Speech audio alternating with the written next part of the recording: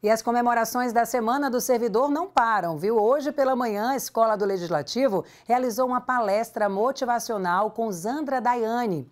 Essa apresentação trouxe um tema muito especial, tema-chave para encontrar a felicidade no ambiente de trabalho. Olha só que importante. E movimentou o nosso auditório o jornalista Jorge Calmon.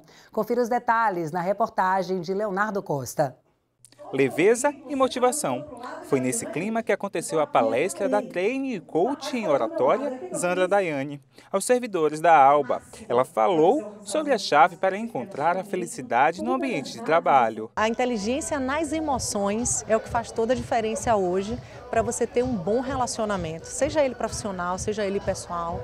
Então, quando você conhece as ferramentas ideais, as técnicas ideais para você se comunicar melhor, sem dúvida, você consegue alcançar patamares mais elevados de relacionamentos.